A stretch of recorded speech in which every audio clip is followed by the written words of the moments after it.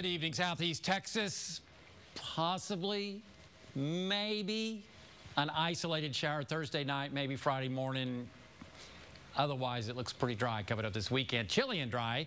Then Monday, we're going to be watching a disturbance come on in, and it looks like Monday afternoon and evening, late day, that we'll see rain primarily move through the area. A break on Tuesday as that disturbance moves out. Then Wednesday, Wednesday night, got to watch this.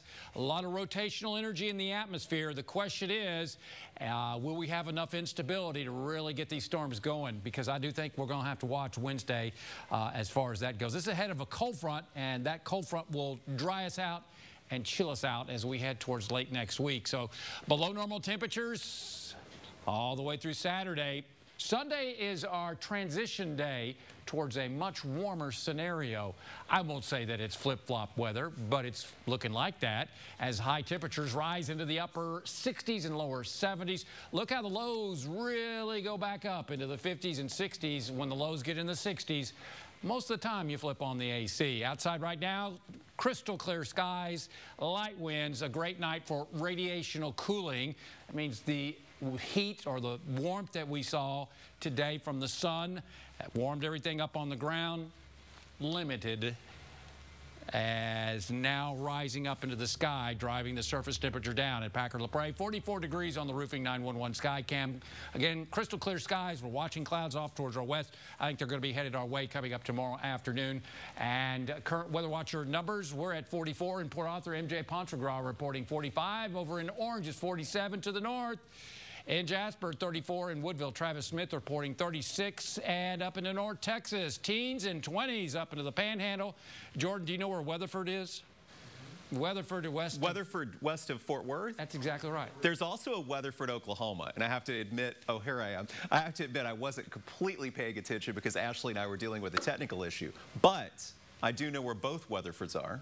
Well, Weatherford, Texas. That's where my sister moved just a few months ago. They're getting snow right now at 36 degrees. A little bit of sleet and snow up that way. Otherwise, I digress. Temperatures are into the uh, 50s down in South Texas, chilling out into uh, southeast Texas.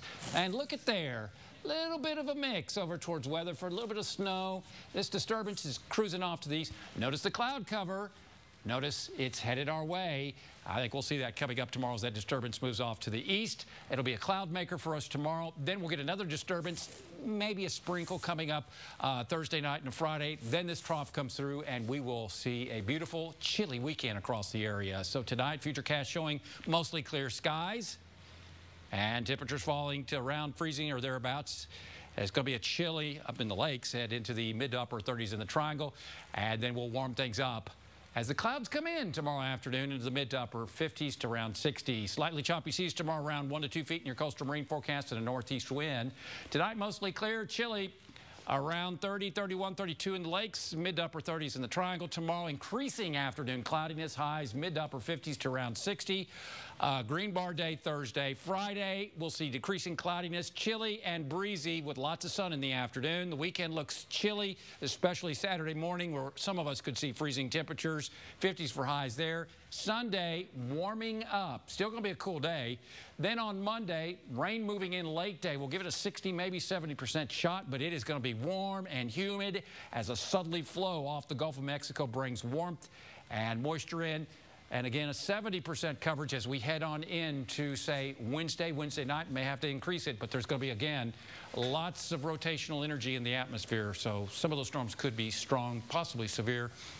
We've got plenty of time to watch that, though. Yeah.